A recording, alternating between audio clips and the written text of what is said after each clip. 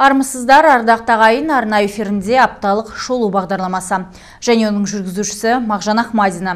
Ең алдымен хабарымыздың қысқаша әлқиссасына назар аударыңыздар. Маңызды құжат жүктеген міндеттер. Солтүстік қазақстандықтар сиясы әлі кеппеген елбасы жолдауын талқылап жатыр. Биохим қайта жанданды. Сөйтіп екінші тыныс берілген кәсіпорын жылына 200 мың тонна дәнді дақыл өңдемек жаз бойы атқарылған жұмысқа баға берілді. Өңір жетекшісі құмар ақсақалов облыс орталығын аралап абаттандыру шараларымен танысты. Жерлес нәзік жанды европа чемпионы атанды. Теріскейлік каратэші 22 елдің спортшылары қатысқан додада алтыннан алқа тағынды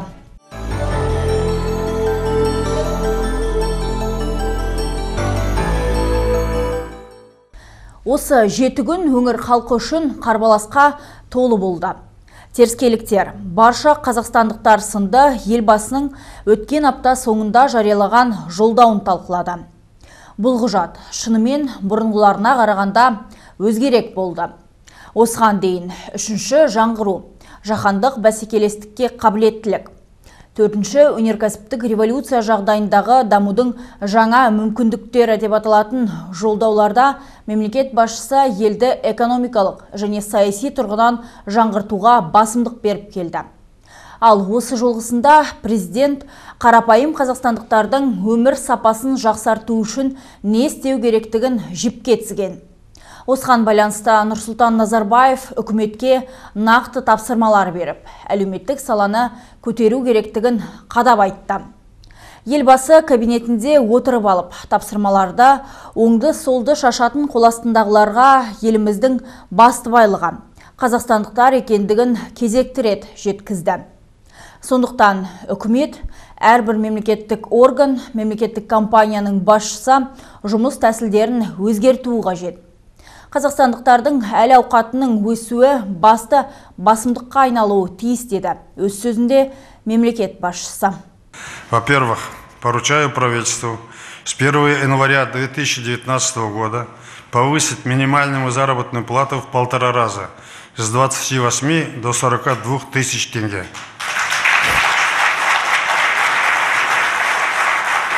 Это будет реальной помощью для каждого казахстанца. Это напрямую увеличить оплату труда 1 миллиона 300 тысяч человек, работающих во всех отраслях на предприятиях всех форм собственности. А также повышение коснется 275 тысяч работников бюджетных организаций, чьи зарплаты вырастут в среднем на 35%. Но бюджетные, вы знаете, это и учителя, и врачи, и правоохранительные органы, и оборона, и так далее.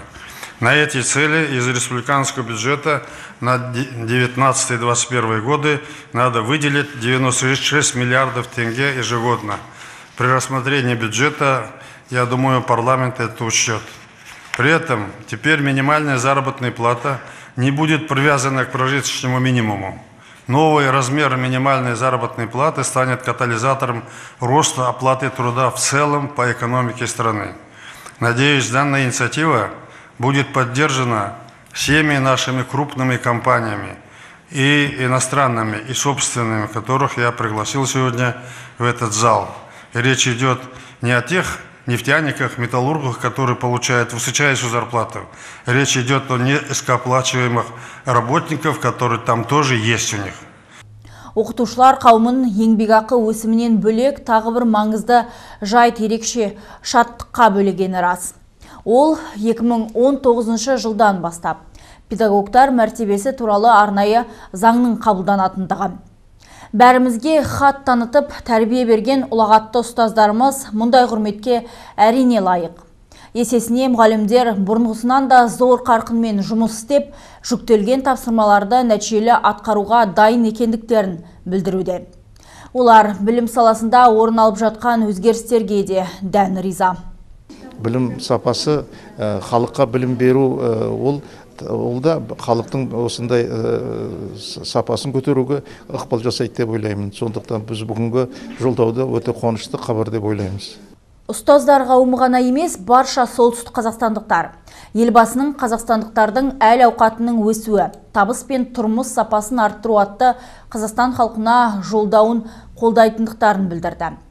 Маңызды құжат осыған дейінгі президент үндеулерінің заңды жалғасы болып келгендіктен, ол теріскейдің ғана емес, күллі еліміздің дамуына тың серпін бермек. Ол туралы аймақ басшысы Құмар Ақсақаловтың төрағалығымен өткен облыс активінен де аңғардық. Алқалы жиында жолдауда жүктелген тапсырмалар бойынша алдағы уақытта атқарылар міндеттер сараланды. Қазақстандықтардың ауқатты өмір сүрулері үшін ең алдымен табысын өсіру керек. Сондықтан елбасы бірінші қаңтардан бастап ең төменгі жалақыны 28 мыңнан 42 мың теңгеге дейін жеткізуді тапсырды. Президент жүктеген бұл міндет келер жылы 43 мыңға жуық жерлесіміздің айлығын арттыруға септеспек. Тағы бюджеттік мекемелерде еңбек ететін отандастарымыздың жалақысын өсіру қажет деді. Бұл оң өзгеріс медицина саласына да қатысты. 2019 жылы ақ халаттылардың айлық еңбек ақысы 20%-ке, ал өңірдегі барлық мекемелердің бюджеті 3 есеге артады. Бұл өңір бойынша бірнеше өзекті мәселелерді шешуге мүмкіндік бермек. Учаскелік дәрігерлердің қазіргі жалақасы 116 мың теңге құрайды. Енді келесі жылдан бастап 20 пайыз қосқанда жалақысы 139 мың теңгеге дейін құрайтын болады. Дәрігерлердің жалақысын көтеру сол арқылы сол жақтағы дәрігерлердің еңбеккерлердің престижін көтеру болып табылады. Сондықтан сол жерге көбірек дәрігерлер келіп сәйкесінше жаңағы дефицитті азайтады. Тағы отандастарымыздың әл ауқатын арттыру үшін оларға шағын және орта бизнес ашуда қолғабыс ету қажет. Сондықтан президент бизнестің жол картасы 2020 бағдарламасын 2025 жылға дейін ұзартуды тапсырды. Будет создано порядка трех тысяч новых рабочих мест. Бұл бастама өңірде қосымша 3000 жұмыс орнын ашуға мүмкіндік береді. Тағы ауыл шаруашылығында 46, ал өңдеу саласында 60-ға жуық өндіріс ошағының жұмысын қайта жаңғыртамыз. Қазір бір жылда теріскелік кәсіпорындар орташа есеппен 180 миллиард теңгенің өнімін шығарады. Бизнестің жол картасы 2020 бағдарламасын одан әрі жалғастырудың нәтижесінде бұл көрсеткішті 293 миллиард теңгеге дейін жеткізу мүмкіндігі бар. Биыл елбасы 7-20-25 бағдарламасын іске қосуды ұсынған еді. Ол бекітілген бірнеше айдың ішінде тек бір ғана жерлесіміз пәтер алыпты. Бағдарлама тиімді, бірақ ол өңір тұрғындарына қолжетімді болу үшін әкімдік бастапқы жарнаны субсидиялау үшін өңір қазынасынан қосымша 200 миллион теңге бөлген. Позволит снизить процентную ставку с 20% до 10%. Бюджеттік мекемелерде жұмыс істейтін жерлестеріміз бұл субсидияның арқасында 20 емес 10 проценттік бастапқы жарна төлейтін болады. Осылайша баспананы солтүстік қазақстандықтар үшін қол жетімдетпекпіз. Пәтер тапшылығы болмайды. Себебі қазір өңір бойынша 2011 пәтерлік 16 көпқабатты тұрғын үй құрылысы жүріп жатыр. Ал 2019 жылы тағы 12 баспана бой көтереді. Осылайша қосымша 1500 пәтер жерлестеріміздің игілігіне тапсырылады. Сөзден іске көшкен жергілікті атқамінерлер баспана ипотекалық ұйыммен меморандум жасасты. Сөйтіп, алдағы уақытта 7-20-25 бағдарламасы арқылы баспаналы болғысы келетіндер үшін үйлер қол жетімді бола түспек. Жалпы, айта кетейік, Теріскей аталмыш компаниямен келісімге келген осымен 5 өңір. Шыны керек, осыған дейін жобаға қатысамын дегендердің қатары аса қалың бола қойған жоқ. Бағдарлама шыққан жарты жыл ішінде қазақстандықтардан 3400-ге жуық өтініш түскен. Оның 2200-ге жуығы мақұлданыпты. Ал солтүстік Қазақстан облысы бойынша жаңа ипотекалық бағдарлама аясында бүгінге дейін тек екі жерлесіміз займ алған. Сондықтан алдағы уақытта олардың қатары арта түсетіндігіне сенім мол. Пәтердің бағасы 10 миллион теңге болса, осының 8, 8 миллионын банк кредиттесе осы алғашқы жарнаның 2 миллион теңгеден 1 миллионын әкімшілік субсидия ретінде жас отбасыларға және бюджеттік организациялардағы жұмыскерлерге береді. Бұл бастама президент ұсынған жаңа ипотекалық бағдарламаны қатардағы халыққа қол жетімдету үшін қолға алынып отыр. Себебі 7-20-25 қабылданғалы бері оны тиімді жүзеге асыруда бірқатар мәселелер туындаған. Банки столкнулись с двумя проблемами. Азаматтар бастапқы жарнаның тым үлкен екеніне шағымданып отыр. Пәтер құнының 20%-ын жинау қатардағы қазақстандықтар үшін қиын. Тағы өңірлерде 7-20-25 шарттарына сай келетін пәтерлер жоқтың қасы. Себебі бұл бағдарлама бойынша азамат тек қолданысқа берілген баспананы табуы тиіс. Ал құрылыс компаниялары пәтерлерді тұрғын үй бой көтеріп біткенше дейін сатып жібереді Бірақ баспана дефициті келер жылы шешімін табады. Бұл мақсатта республикалық бюджеттен 150 миллиард теңге бөлінбек. Оның 6,5 миллиарды солтүстік Қазақстан облысына қарастырылған. бұл қаражатқа 7-20-25 шарттарына сай келетін жаңа көп қабатты тұрғын үйлер салынатын болады Тағы баспана ипотекалық ұйымы жуырда жаңа баспана хит бағдарламасын іске қосты. Оның көмегімен қайталама нарықтан пәтер сатып алу мүмкіндігі бар. Шарттары 7-20-25-ке ұқсас болғанымен жаңа бағдарламаның өзіне тән бірнеше ерекшелігі бар. Отличается ставка, срок баспана хит бойынша жылдық пайыздық үстеме жеті емес он бүтін жетпіс бес процентті құрайды ал ипотекалық несие жиырма бес емес он бес жылға беріледі. Бастапқы жарна жиырма процент бұл бағдарлама бойынша азамат тек қайталама нарықтан пәтер алуы тиіс. тағы өзге жылжымалы мүліктің болуына рұқсат етіледі. астана алматы ақтау және атырау қалалары бойынша пәтер құны жиырма бес миллион теңгеден аспауы тиіс. Өңірлер бойынша шекті баға он бес миллион теңгені құрайды. Тағы елбасы өзінің жолдауында ауыл шаруашылығы саласында ұмыт қалдырмады. Өңіріміз аграрлы аймақ болғандықтан бұл да бізді қуантпай қоймады. Оны облыс активі барысында өңір жетекшісі құмар ақсақалов тілге тиек етті. Бұған дейін теріскей аграрийлері 1,3 миллион гектар алқапты тиімді не мүлде пайдаланбай келген. Мысалы көршілес жатқан екі шаруашылықтың бірі. Маусым соңында мол өнім алса екіншісі жұмысты сылбыр атқарған. Облыс әкімі соңғы аталған жауапсыз шаруалардан жерді қайтарып алу ісін қатаң бақылауға алатынын жеткізді. Ал жолдаумен жіті танысқан өңірдің бетке ұстар диқандары болса шетелге шикізатты ғана емес өңделген ауыл шаруашылығы өнімдерінде шығаруға дайынбыз дейді. В экспорте сельскохозяйственной продукции. Біздің бәсекеге қабілетті, шетел нарығында үлкен сұранысқа ие бола алатын өнімдерді шығаруға қауқарымыз бар. Шетелдіктер біздегі алқаптардың құнарлығына таңдай қағады. Елбасы жолдауын негізге ала отырып, әкімдік бізге Қытай және өзге де шекаралас мемлекеттерге теріскелік тауарды экспорттауға қолдау көрсетсе дейміз. Жолдауда кейбір экономикалық көрсеткіштерге көңілі толмайтынын айтқан мемлекет басшысы оларда шешу жолдарын нақты айқындап берді елбасы сынға алған проблемалардың барлығы қарапайым халықтың көкейінде жүрген түйткілдер болды. Мәселен медицина саласы қызметкерлерінің жалақысын көтеру мемлекеттік қызмет пен құқық қорғау саласының жұмысын жетілдіру секілді толғақты мәселелердің түйінін елбасы өзі тарқатты. Қалай болғанда да қоғамдық жүйеде қарапайым халықта бір серпіліп қалды.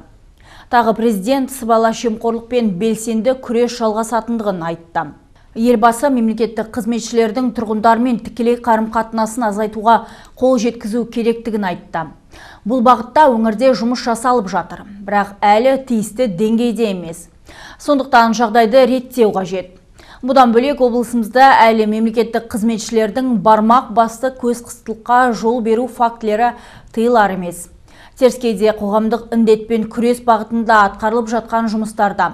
Осы аптада өңірге келген сыбайлас жемқорлыққа қарсы республикалық арнайы мониторингтік топ мүшелері де саралады.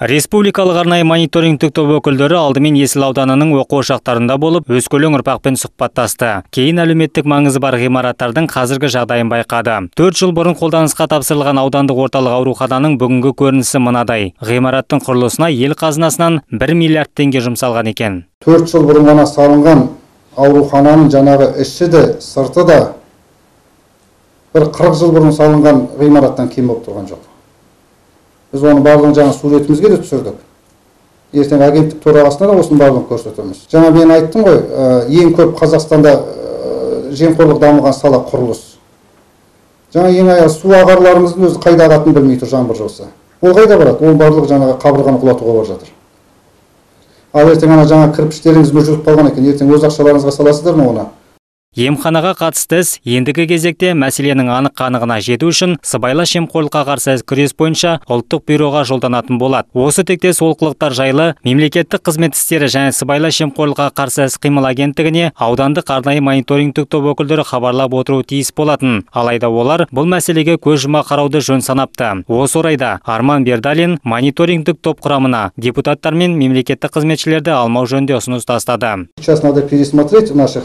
э, районных мониторинговых групп. Потому что я смотрю, ваша районная, местная районная мониторинг группа не работает. Республикалық мониторингтік топ өкілдері Есіл ауданының әкіміне кемшіліктерді түзету бойынша бірқатар ұсыныс беріп, мемлекеттік қызметшілерді ел игілігі жолында адал жұмыс істеуге шақырды. Перед нашим приездом вчера Кейбір мемлекеттік қызметшілер тиісті жұмысты атқармайды, комиссия келерде ғана қимылдай бастайды. 20-30 жылдан кейін сіз бен біз атқарған жұмыстардың нәтижесін балаларымыз көреді. Өскелең ұрпаққа жемқорлық туралы өлеңдер жаттатқызудың қажеті жоқ. Одан да адал істеріңмен үлгі көрсетіңдер. Қазір баланың көзінше біреуге пара берілсе, болашақта ол да соны міндетті түрде қайталайды. Ал парақорлықтың соңы жақсылыққа апармайды.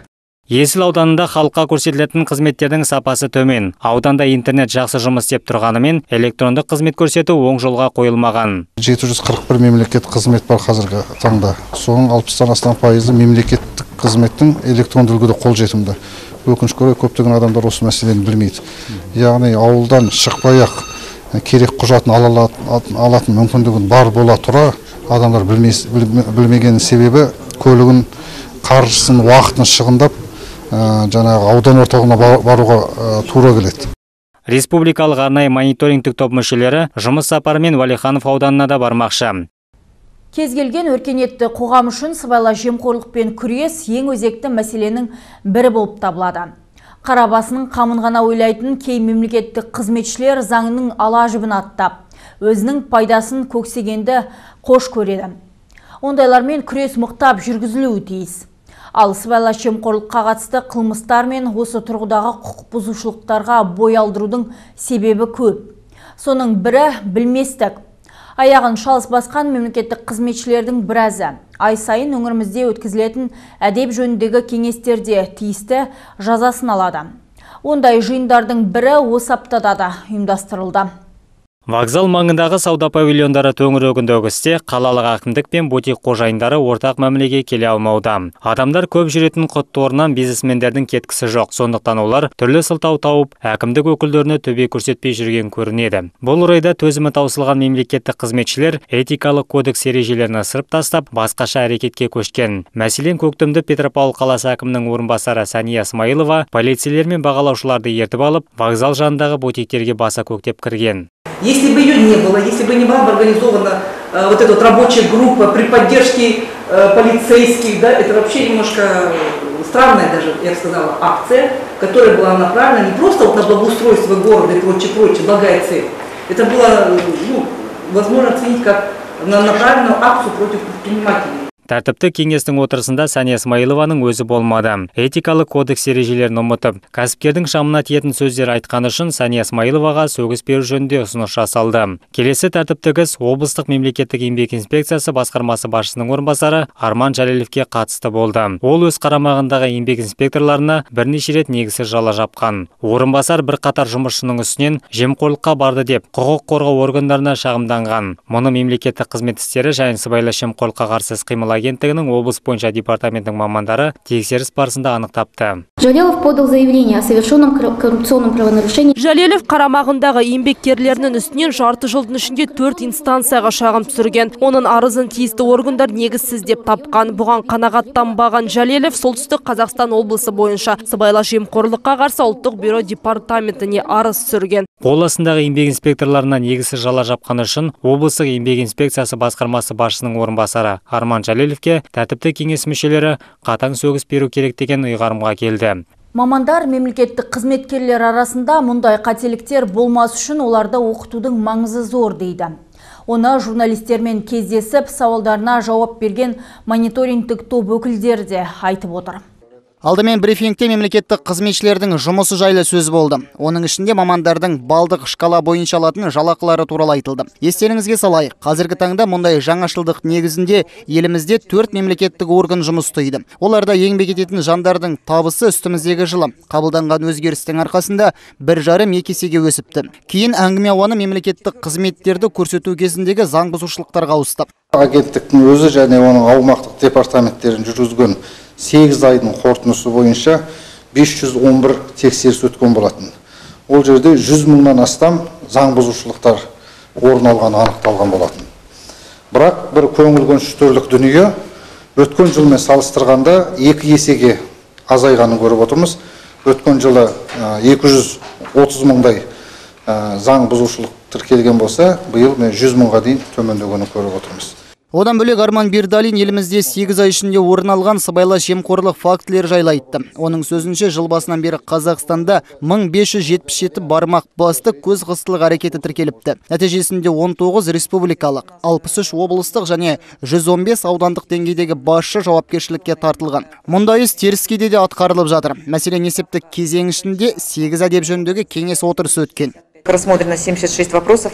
Жиындарда жалпы саны 76 іс қаралды. Отырыстарда талқыланған мәселелердің 58 пайызы заң бұзушылықтардың алдын алуға қатысты болды. Одан бөлек 32 тәртіптік кеңес өтті. Оның жетеуінде әдеп нормаларын сақтамаған және 16-сында мемлекеттік қызметтің беделін түсірген жандардың істері қаралды. Нәтижесінде 32 маман жауапкершілікке тартылды.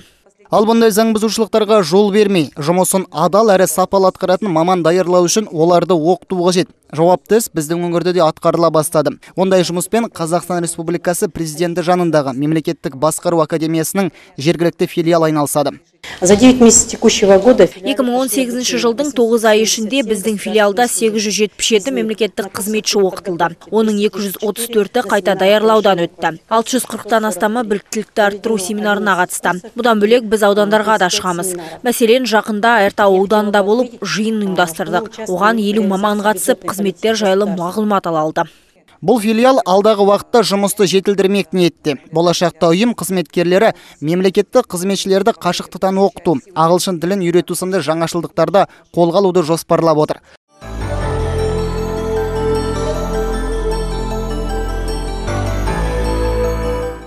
Өзге де тақырыптарға тоқтала кетсек.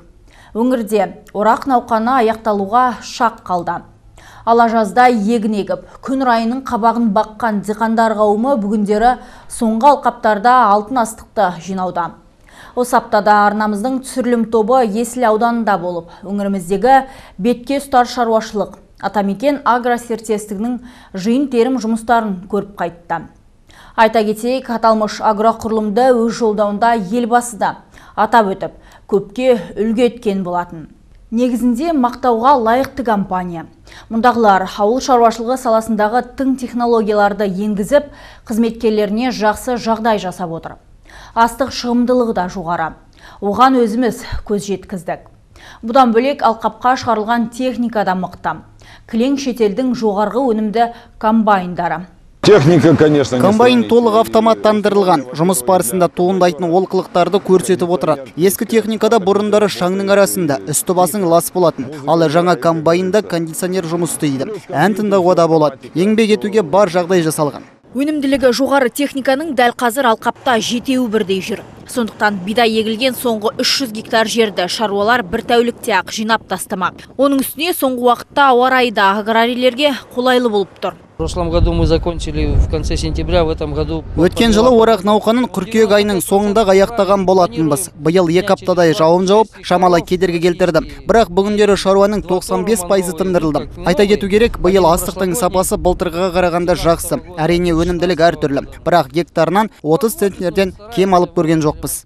Шаруалар енді бір-екі күнде орақ науқанын толық аяқтамақ. Қалғаны 143 гектар қыша мен 500 гектар рапс қана. Өзге 15 мың гектар алқаптағы астық толығымен қамбаға құйылған. Жалпы Есіл ауданы бойынша бидайдың 96, ал майлы дақылдардың 78 пайызы жиылған. Осы аптада диқандар үшін тағы бір жағымды жаңалық орын алды. Өңірде бидайды терең өңдейтін зауыт ашылды. Соңғы үлгідегі озық құрал жабдықтармен жарақталған цехтың жылына 200 мың тонна дәнді дақылды өңдеуге қауқары бар. Елімізде бұл кәсіпорынның баламасы жоқ. Бидайды терең өңдеп, одан крахмал мен балау шығаратын өндіріс орны бірнеше кезең бойынша іске қосылып отырады. Зауыт Теріскей халқына таңсық емес. Ол 2006 жылы ашылып, көп ұзамай тоқтап қалған еді. Енді кәсіпорын жаңаша атаумен жұмысын қайта жандандырды. Солтүстік Қазақстан облысының Тайынша ауданында биохим зауыты осыдан 12 жыл бұрын іске қосылған болатын. Алайда елімізде баламас жоқ алпауыт кәсіпорынның ғұмыры ұзаққа бармай 2010 жылы өндіріс тоқтап қалды. Былтыр зауыттың технологиясына өзгертулер енгізіліп, Bio серіктестігі тұралаған кәсіпорынның өндірісін жандандыруды қолға алды. Жұмысты оң жолға қою жоспары үш кезеңге бөлінген. Бірінші кезекте осыдан жарты жыл бұрын зауытта ұн өндірісі қолға алынды. Бүгінде дайын өнімдер Қазақстан асып Орта Азия елдеріне экспортталып жатыр. Ал бүгін кәсіпорын аумағында бидайды терең терең өңдейтін зауыт жұмысын бастамақ. Маңызды желінің іске қосылуы өңір экономикасына серпін беріп жергілікті тұрғындарды тұрақты табыс көзімен қамтуға мүмкіндік береді деді облыс әкімі құмар ақсақалов. Бүгінгі күні 400 жұмыс орны ашылды. Инвесторлар 5,5 миллиард теңге құйып келесі этап ол биоэтанол шығару. Завод тек қана тайынша ауданы үшін ғана жаңағы айтқанымыздай бір мыңға жуық адам жұмысқа тартылатын болады. Түрлі түрлі проекттер осы жобалар арқылы. Тек қана сол тайынша ауданының бюджетіне 100 миллион көлемінде салық төленетін болады. Астықты терең өңдейтін зауытқа қажет құрал жабдықтарды сатып алып іске қосуға инвестор 5 миллиард теңге қаржы жұмсапты. Қайда жабдықталған мұндай алпауыт кәсіпорынның елімізде баламасы жоқ. Тіпті әлемде бидайды терең өңдеп одан дайын шикізат шығаратын зауыттардың саны 15 қана. Серіктестік жылына 200 мың тонна бидайдан терең өңделген өнім алуға қауқарлы. Тут есть очень важные вещи. бидайды терең өңдеу ісі ұзақ үрдіс бір қараған көзге жеңіл болып көрінеді. Шындығында алтын дәнді кептіріп оны белгілі көрсеткішке дейін жеткізу оңай шаруа емес. Осы күндері бізде шығарылатын бидай крахмалы мен құрғақ бидай балауызына сұраныс артып келеді. Біздің осы қажеттілікті толық қамтамасыз етуге қауқарымыз жеткілікті. Егер жоба ауытқусыз жұмыс істесе дайын өнімді еуропа мен орталық азия елдеріне саудалау жоспарда бар. Әрі ішкі нарықты да толық көлемде қамтитын боламыз. Бұдан соң кәсіпорын басшылығы меймандарды крахмал, балауыз бен жемазық өнімдерін шығаратын цехтардың жұмысымен таныстырды. Зауытты аралап шыққан соң облыс әкімі Құмар Ақсақалов өндіріс ошағын іске қосты.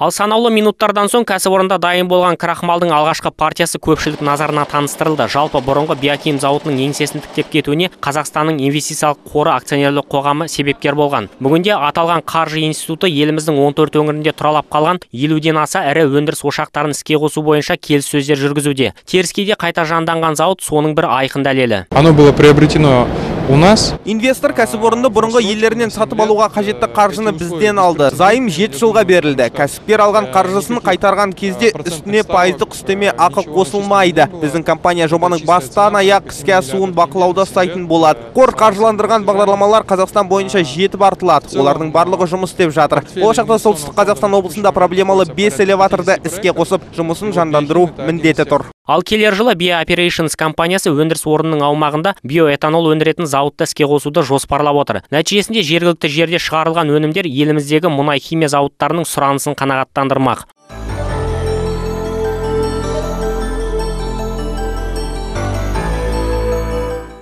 Күздің екінші айының бел ортасына келіп қалдық. Десе де қалада әлде болса абаттандыру жұмыстары жалғасын табуда. Қыс келіп, қар түскенше барлық кемгетікті дұрыстау қажет. Жаз бойы қыруар шаруа тындырылғаны белгілі. Қазір сол жұмыстардың жемісі көз қуантады. Осы аптада облыс әкімі Құмар Ақсақалов Петропавлда жүргізілген шаруаны көріп, бағасын берді. Пестрая көлінің жағажайы тұрғындардың сүйікті демалыс орындарының бірі. Мұндағы шағын аумақ бұған дейін абаттандырылып, алыстан көз тартатын стела қойылды. Ал осы жердегі Лана дамханасына дейінгі жер игерусіз жатты. Енді осы 21 мың шаршы метр алаң көркейтілмек. Айта кету қажет, бұл маң жеке меншіктен алынып, қалалық әкімдіктің иелігіне өтіпті. Мы изымаем земли. Біз мақсатсыз қолданылған жерді қайтарып аламыз. Мәселен, мынау бақ соттың шешімі бойынша қалалық әкімдікке өтті. Себебі бұл алаңда ештеңе тұрғызылмады. Абаттандыру жұмыстары жүргізілмеді. Енді тиісті іс атқарылып жатыр. Мұның бәрі тұрғындардың игілігі үшін жасалады. Жағажайдағы жаңғырту жұмыстары мамыр айында басталған. Көктемнен бері атқарылған іс жайын қала әкімі Марат Тасмағамбетов түсіндіріп жатыр. Шаһар басшысының сөзінше, мұндағы шаруаға 150 миллион теңге қарастырылған. 5400 квадратных метров. 5400 шаршы метр жерге кеспе тас төселді. Одан бөлек балалар алаңқайда бой көтерді. Тағы екі бірдей шатыр орнатылды. Олардың астына демалушыларға арналған жатақтарды молынан қоямыз. Мұның бәрі келушілердің тынығуына қажет. Бұдан бөлек аумаққа елу жарықша, орындық, қоқыс жәшіктері мен кіші архитектуралық құрылымдар орнатылыпты. Тағы шырша және шетен көшеттері егілген. Көлік тұрағыда 150 орынға кеңейіпті. Келер жылы жұмыс жалғасын таппақ. 2019-дың көктемінде алаңда гүлзар бой көтереді. Бұл ретте өңір жетекшісі Құмар Ақсақалов жағажай әдемі әрі халыққа жайлы болу қажеттігін қаперге салды. На следующий год мы Жұмыстар жалғасатын болады. Келер жылы мұнда суда жүзу спортымен шұғылдану үшін арнайы клуб құрылмақ. Онда балалар қайық спортымен айналысатын болады. Қажетті дүниелерді алуға қолдау көрсетеміз. Маңай одан әрі абаттандырылады. Көлде тазартылады.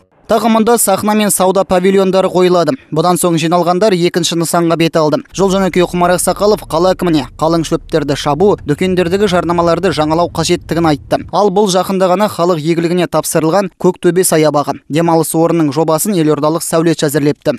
жаңадан ашылған скверлерде ұлттық мәселелерді көрсетіп отырмыз әдейілеп жақсылап жасап осы ә, скверде де жаңа ә, жұмабаев көшесіндегі болдыңыз ғой көрдіңіз ғой? Шаңырақты қойып отырмыз. Өте жақсы керемет шықты. Арнайы заказ беріп заказдарын беріп жігіттерге істеткізіп жатырмыз ұлттық нәрселерді біз көбірек былай насихаттау керекпіз. Көктөбе саябағына қазақ батырының жүзігі, сандық, кигіз үйдің есігі сынды кіші сәулеттік құрылымдар қойылыпты. Атқарылған жұмысқа жақын маңдағы көпқабатты баспаналардың тұрғындары дән риза. Мы очень довольны, что атқарылған іске көңілім толады. Барлығы тамаша жасалған. Әсіресе сәулеттік құрылымдар керемет. Жалпы бұл жер ғана емес, қаламыздың басқа да аудандары абаттандырылып жатыр. Оған өз басым ризамын. Шаһарымыз көркейе берсін. Саябаққа газон төселіпті. Алдағы уақытта мұнда ағаш бұталары егілмек. Ал мына облыс әкімі тілге тиек еткен шаңырақ сәулеттік құрылымы. Ол түнде түрлі түсті жарық шашып, айналаны көріктете түседі. 8 метров его высота составляет. Шаңырақтың биіктігі 8 метр, ені 12 метрді құрайды. Құрылымның ортасына тайғазан қойылған, ал маңында орнықтар бар. Кеше кешкілік шамдарды іске қосып көрдік. Барлығы жұмыс істеп тұр. Шаңырақтан маңайға төрт түрлі түсті сәулелер жарқырайды. Жалпы бұл Қазақстан халықтарының достығын бейнелейтін құрылым болмақ. Енді мұнда сан алуан мерекелік шараларды ұйымдастыруға болады. Ардагерлер қауымы сәулетті нышанның мәні зор дейді.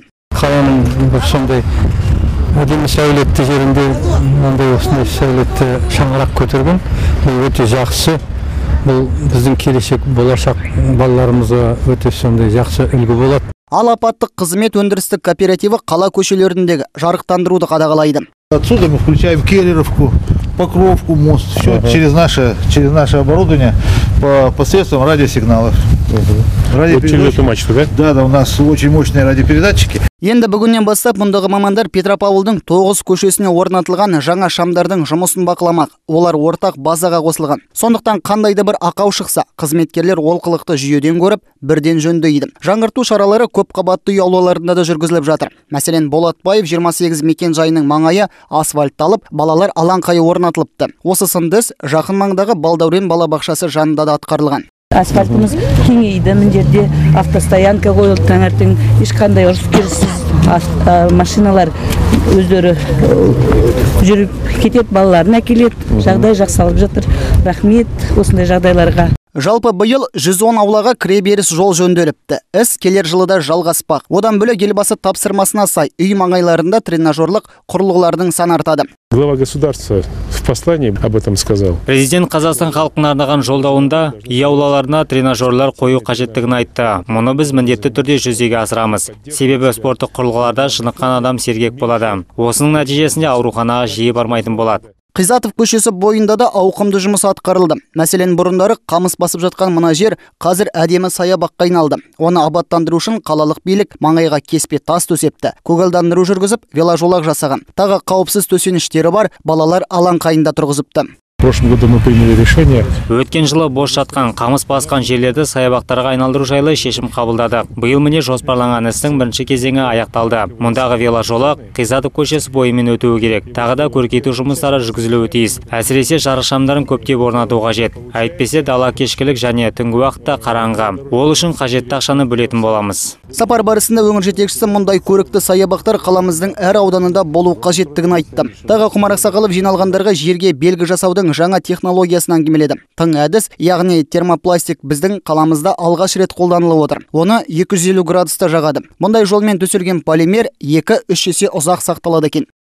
Екі ел президенттерінің қатысуымен өтетін өңіраралық форумның өтуіне бір айдан аз уақыт қалды. Сондықтан дайындық қызған. Бүгіндері мемлекет басшыларын қабылдайтын оқушылар сарайы Сақадай сай. Жуырда халық игілігіне берілмек.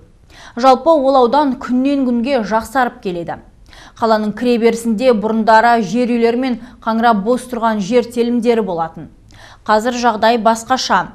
Жаңа баспаналар, әлеуметтік маңызы бар нысандар тұрғызылуда.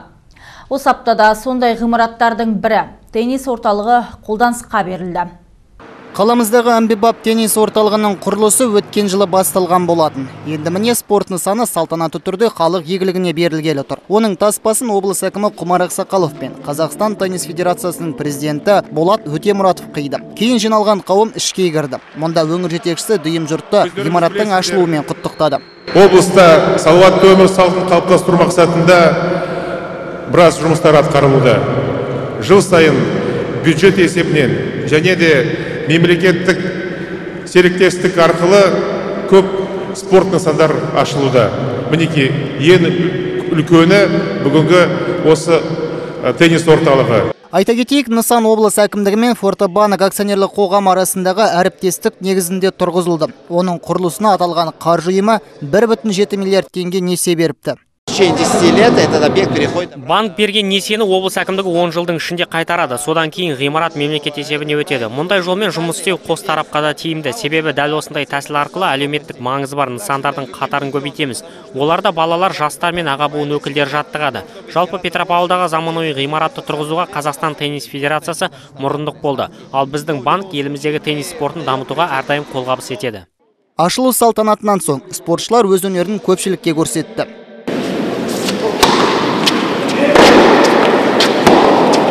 Мұндағы корт әлемдік талаптарға сай етіп жасақталған. Мәселен, төсеніш Set деп аталады. Ол Испания елінен әкелініпті. Дәл осындай жабынды соңғы Рио Олимпиадасында пайдаланылған екен. Сайыстан соң Қазақстан теннис федерациясының президенті Болат Өтемұратов жақсы нәтиже көрсеткен жерлестеріміздің бірін кубокпен марапаттады. Бұл орталықта ұйымдастырылған жарыстың біріншісі ғана. Алдағы уақытта осы жерде түрлі додалар өтпек. 2019 жылы бұл жерде 10 республикандық жарыс, 2 халықаралық жарыс, көптеген теннисшілер келеді осы жерде әрине кішкентай балдарға петропавл қаласының солтүстік облысының балаларына бұл өте жақсы мүмкіндік тәжірибе алуға жақсы нәтиже көрсетуге ұпай алуға әрине жанкүйерлерге де ата аналарға да барлықтарына тамаша теннис көруге өте лайықты Орталықтың ашылғандығына жергілікті балғындар да разы. Енді олар осы кең жерде теннистің қыр сырын меңгеретін болады.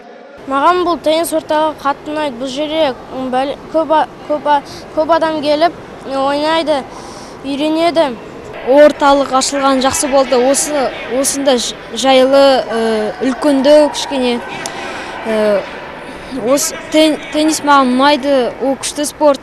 Жалпы ғимараттың аумағы 7238 мың шаршы метрді құрайды. Оның ішінде 4, ал сыртында 3 корт бар. Көрермендерге арналған орын 1200-ден асады. Бұған қоса нысанда жаттығу залы мен құрметті қонақтарға арналған бөлмелер де қарастырылған. Елбасы өзінің журда жариялаған жолдауында бұқаралық спортты дамытып, дене шынықтыру нысандарының қол жетімділігін арттыру қажеттігін айтқан болатын. Аулалар мен саябақтарда, мектеп алаңдарында спортпен шұғылдануға мүмкіндік беретін жабдықтарды орнату керектігін тілге тиек етті. Өйткені, нақ осындай кішігірім ғана құралдар балғындардың спортқа деген қызығушылығын оятады. Үлкен спортқа қадам басуына көмектеседі. Жалпы осы апта спорттық жаңалықтарға толы болды. Терскелік құлагер командасы ел біріншілігіндегі жеңісті жолын жалғастыруда. Осы аптада олар өз айдында алматылықтардан басым түсті. Сөйтіп турнирлік кестенің екінші тұғырына жайғасты. Енді олар жергілікті мұз айдындағы кезекті ойынын Көкшетау құрамасымен қазанның 25 мен 26 күндері өткізеді. Ал қос солтүстік қазақстандық спортшы Сергей Харламов пен Иван Железняк Индонезияда өткен Паразиада ойындарында қола медальға қол жеткізсе, Европа чемпионатынан қанжығамыз алтын алқамен майланып келді. Дүбірлі додадан оралған каратешмен арна тілшілері жүздесті. 49 жастағы Людмила Бутенко 10 жылдай кикушинкай каратемен шұғылданып жүр. Терескелі каратеші бұған дейін тек облыстық және республикалық жарыстардың жүлделерін иеленсе, жуырда Европа чемпионы атағына лайықты деп танылды. Бұл байрақты додада 40 жастан асқан каратешілермен жекпе-жекке шыққан жерлесіміз ақтық сынға дейін сүрінбей өтіп, финалдық кездесуде украинды қарсыласынан басым түсті. Конечно, соперничество здесь без духа нельзя. Қарсыласым салмағы және бой жағынан менен ірілеу болды. Оның тәжірибесі де көп екен. Мәселен ол қара белдіктің иегері. Ал менде қоңыр белбеу. Дегенмен күш жігерімді жинақтап кездесу кезінде барымды салдым. Соңында жеңісті қанжығама байладым. Жалпы швецияның гетеборг қаласында өткен еуропа чемпионатына әлемнің 22 елінен 200-ге жуық каратэші қатысты. Бұл байрақты бәсекеде республика намысын 25 отандасымыз қорғап ел қоржынына 6 алтын 4 күміс және 4 қола медаль салды. Национальный сборной казахстана. Ел құрамасы осы жарыста жалпы командалық есепте екінші орынға ие болды. Бірінші орынды швеция ұтып алды еуропа чемпионатына біздің өңірден үш каратэші де қатысты. Біреуі алтыннан алқа тағында бұл өте жақсы нәтиже. Ендігі кезекте теріскелік спортшылар қазанның 13 мен 14 күндері Ресейдің Барнаул қаласында Кикушинкай каратэден өтетін халықаралық жарысқа қатыспақ. Онда облыстың атынан 34 каратэші бағын сынамақ. Ардақта ғайын, осымен хабарымыз тамам. Зейін қойып тыңдағандарыңыз үшін рахмет. Арна эфирінде келесі жексенбіде жүздескенше.